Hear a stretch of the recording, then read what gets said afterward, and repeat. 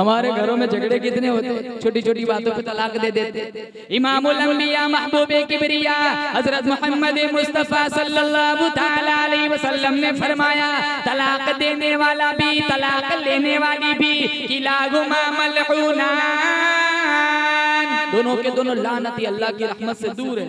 धड़ाधड़ तलाक दे देते। क्यों? हमारे नबी की दिवाजी ज़िंदगी नहीं पड़ी। ग्यारह शादियाँ फरमाई दो बीविया अल्लाह के नबी की विशाल से पहले फौत हो गई थी। एक खदीजा और एक जैनब नौ बीविया जनाजे के पास थी। किसी एक बीवी को हमारे नबी से कोई शिकायत नहीं थी। कैसी ज़िंदगी गुजारी होगी? इस्लाम ने सबको एक एक कैटेगरी दर्जा दिया।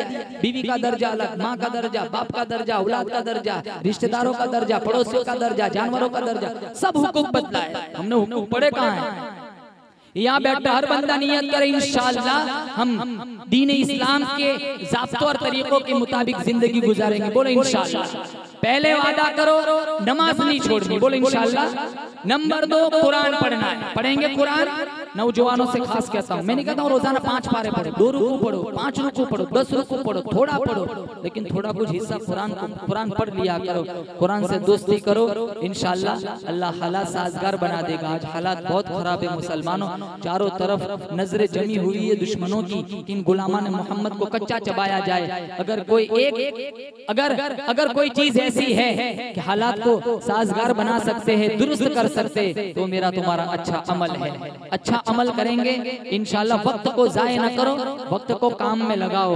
अगर वक्त को तुमने न काटा, वक्त तुम्हें काट देगा। सैफुन काटने वाली तलवार है वक्त। अच्छा वक्त गुजारोगे तो इनशाला आखिरत में इसकी सजा मिलेंगी। सूफिया ने लिखा है, कल कयामत का दिन होगा।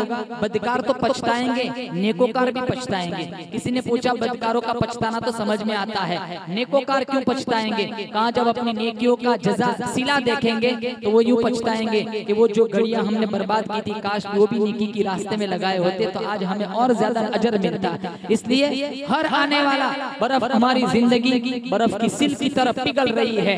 बर्फ़ एक ऐसा सौदा है जो कस्टमर का इंतज़ार नहीं करता, वक्त पे पिघल जाता है। बिल्कुल इसी तरह हमारी ज़िंदगी बर्फ़ की सिल की तरह है। हम जागते हैं, वक्त जा रहा है। हम सोते हैं, वक्त जाता है। हम फजुलियात में लगे वक्त जा रहा है। हम कुरान पढ़ते वक्त जा रहा है। नमाज़ पढ़ते वक्त जा रहा है। वक्त नहीं रुकता किसी के लिए इस मजमे में कोई पैंतीस का, कोई चालीस, कोई पचास, कोई साठ, कोई पचपन। आप लाख कोशिश करो, सारे खेत बेच दो, सारी जमीनें बेच दो, लेकिन तुम पचपन के हो, तुम पचास को नहीं ला सकते। जो तुम्हारा वक्त गुजर गया वो लाख कोशिश करो।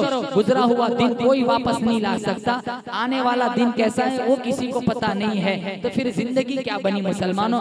न पिछले दौर को वापस ला सकते, आगे कितना जीना है, वो पता नहीं है। तो फिर जो जिस हाल में है, अल्लाह को मर्जियात वाले अमाल करें बोले इंशाल्लाह करेंगे इंशाल्लाह वाखिर दावाना अनिल हम्दुलिल्लाहि रब्बिल आलमीन जी जी जी नाद नाद के लिए तो हमारे शायर सब आए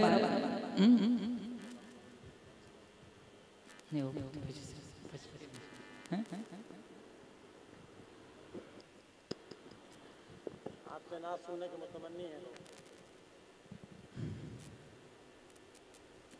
ये सब खा के चले गए खाने में तो बहुत थे। गुजरात जाके बताएँगे। उड़ीसा गए थे सिर्फ़ खाने आए थे। फिर आएँगे। हैं? जाके फिर अलगे जलसा वो फिर की बात और है मौलाना। गुजरात छोड़ के ज़्यादातर जाते ही नहीं। ये आ गए मौलाना की मोहब्बत में और इनके वालिद साहब की खिदमत को हमने जब फ़ोन पे तो फिर जमीर ने इजाज़त नहीं दी, मनफी में जवाब दिया जाए ना जाते ही नहीं मुझसे मैं सच कहता हूँ, मुझे गुजरात से फुर्सत ही नहीं तीन साल में एक मरतबा यहाँ आया हूँ। पीस पी पहले गोपालपुर कहीं गया था। कितने फ़ोन आते हैं बिहार से बंगाल से वहाँ कहीं कहीं से फ़ोन आते हैं लेकिन मौलाना फुर्सत ही नहीं होती। सबक पढ़ाना है भी बच्चों को संभालना है माँ बाप को संभालना है प्रोग्राम करने। टाइम होता नहीं। अब अब देखो यहाँ ही देखो कैसी फ़ीस है कितने सारे खाने में तो हमने बहुत देखे थे लेकिन सारे कहाँ चले? हम इतने दूर से आए और यहाँ ये माहौल है। चलो खैर कोई बात नहीं। अब दुआ तो करेंगे हमारे लिए। अभी वो भी कहा इंशाल्लाह बोल रहे अरे बोले इंशाल्लाह तो बोले इंशाल्लाह चलो ठीक सुन सुन के नाते पाक मचलता चला गया। सुन सुन के नाते पाक मचलता चला गया। सुन सुन के नाते पाक मचलता चला गया। सुन सुन के नाते पाक मचलता चला गया। पत्थर जो दिल था वो भी पिघलता चला गया। पत्थर जो दिल था वो भी पिघलता चला गया। उंगली का एक इशारा जो आन कर दिया। उंगली का एक इशारा जो आका ने कर दिया।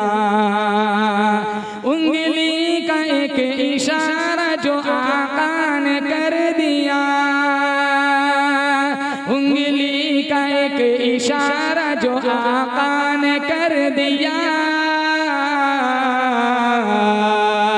सोना पहाड़ियों से निकलता चला गया।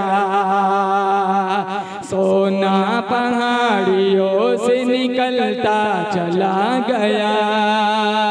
आगे वाला शेर बहुत खूबसूरत है, आपका एडवांस में दफ़ा सुबह अल्लाह कह दो। बहुत ही अच्छा शहर है, आपकी रूह को ठंड पड़ेंगे अगर सच्चा इश्क है। बहुत ही अच्छा शहर है। बू जहल बूलहब की दुकान बंद हो गई। बू जहल बूलहब की दुकान बंद हो गई। बू जहल बूलहब की दुकान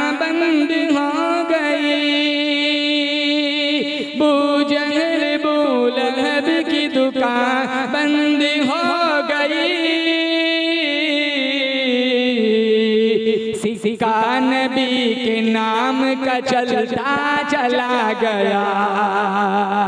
सिक्का नबी के नाम का चलता चला गया। आगे वाला शेर, अब वो ये अंसारी रज़ी अल्लाह को अपने जहन में रखे और ये शेर का मजाल है। बहुत अच्छा शेर है। आका की ऊट नीन जहाँ पर किया कयाम। आका की ऊट ने जहाँ पर किया कयाम।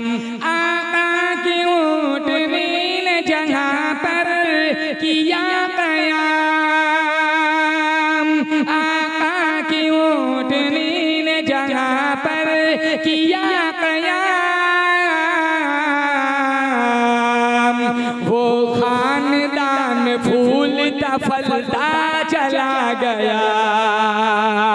वो खानदान फूलता फलता चला गया। सुन सुन के नाते पाक मचलता चला गया। पत्थर जो दिल था वो भी पिघलता चला गया। वो हाजरा के लाल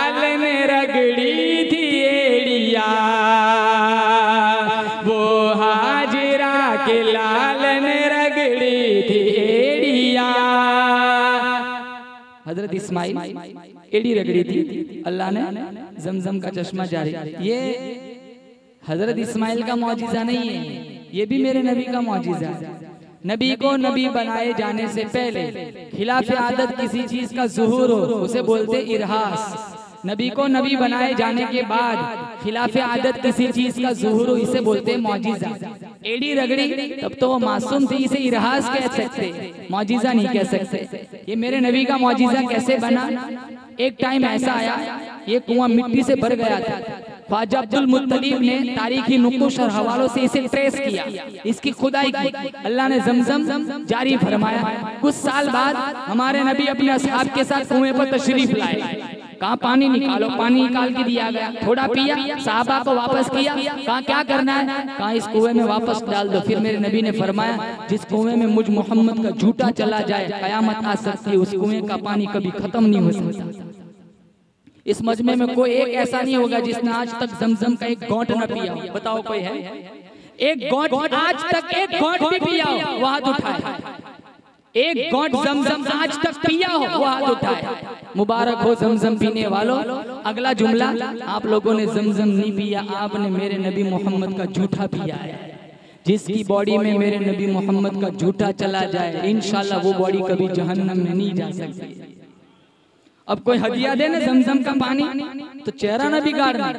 घड़ी मंगवाई थी और पानी ले आया। अरे घड़ी दुनिया है ये तू शुक्र करना कि ये तेरे लिए क्या लाया है मेरे नबी का झूठा लाया है अकीदत मंदी से पी लेना इंशाल्लाह अल्लाह बीमारियाँ भी दूर फरमा देगा। शहर सुनो। वो हाजरा के लाल में रगड़ी थी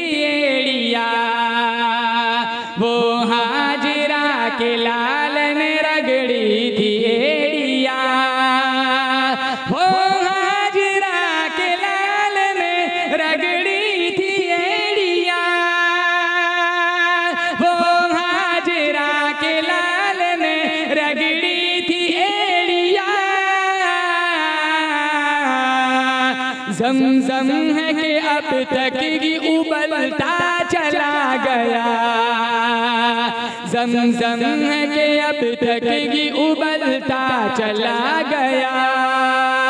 आखिरी शेर अल्लाह ने सारी कायनात बोलो, ज़ोर से बेशक मेरे नबी मोहम्मद के सदक़े में बनाई। अल्लाह का नबी ना होता, ये जलसा भी ना होता। न ये ज़मीन होती, ना आसमान होता, न चाँद, न सूरज, न सितारे। अगर वो न होते तो कुछ भी ना होता, वजूद कौनो मकान ना होता। आखिरी शेर बहुत अच्छा है। रुतबा खुदा के बाद है आला रसूल का। रुतबा खुदा के बाद है आला रसूल का रुतबा खुदा के बाद है, आला रसूल का। रुतबा खुदा के बाद है, आला रसूल का। तखलीक कायनात है, सदका रसूल का। तखलीक कायनात सदका रसूल का। सुन सुन के नात पाक मचलता चला गया। पत्थर जो दिल था वो भी पिघलता चला गया। जजाकल्ला जजाकल्ला माशा अल्लाह खूब खूब बरकत अता फरमाए।